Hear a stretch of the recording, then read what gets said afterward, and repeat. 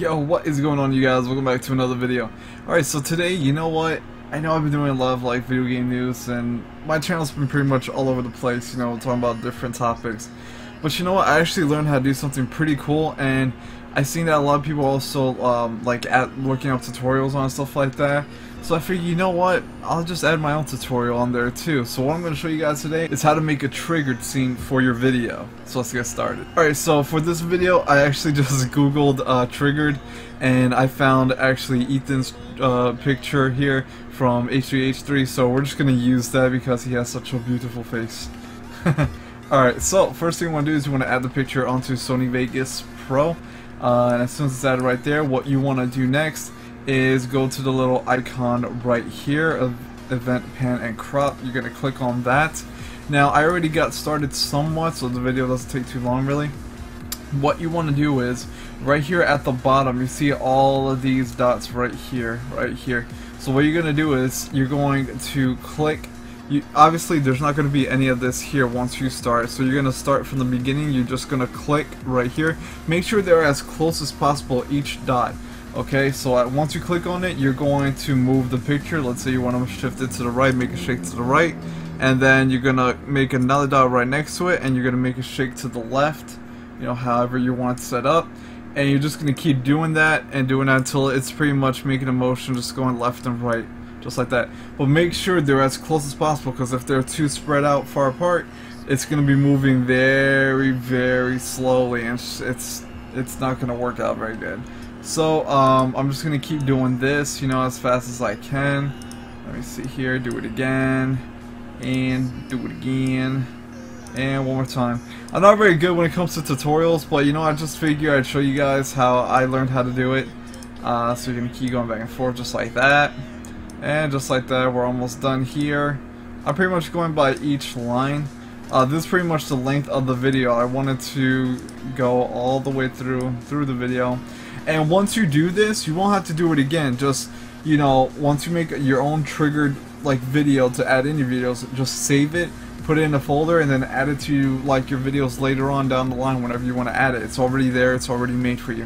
So after you're done that, um, after you made it, the camera pretty much picture shake left and right, you're going to exit, and then you're going to see how it turns out and as you can see it's still it's it's fat believe me if the those line those dots weren't close this thing would be going super slow so if you want to go really fast what you're gonna do is go here to the end you're gonna hold control and you're going to go all the way well not all the way actually let's see how fast this is so yeah we're gonna see you see how fast it's going there now you can just there you go that's actually pretty good uh, why don't we make it go a little bit faster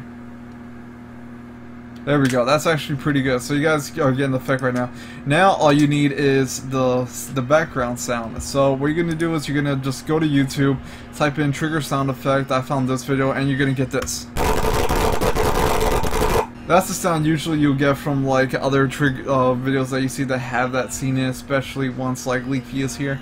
So what you're gonna do is I'm not gonna show you how to download it. Just like copy the link and download it however way you can and then once you have the, the video you can add it uh, right here let me see if I have it here I named it trigger so I have the video right here so what you're gonna do is you're going to cut the video up just like that doesn't really matter then you're gonna get rid of the video by pressing clicking on it pressing U uh, deleting the top, dragging the video all the way here and just matching it up with the video good enough. Then you go to the beginning and hit play.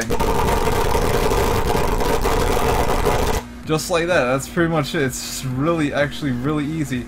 You know, I want to speed that up just a little bit more. All the way. Actually, and make that. Now let's see how it looks.